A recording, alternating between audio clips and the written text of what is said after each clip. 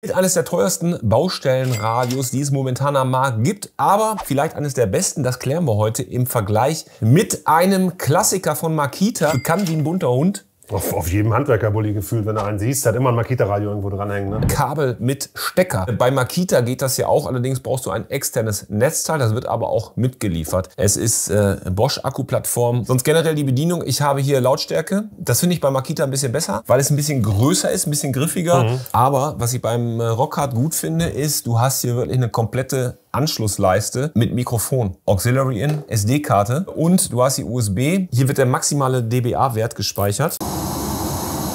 103,2 dBA in einem Meter Abstand. Das war auch schon recht laut.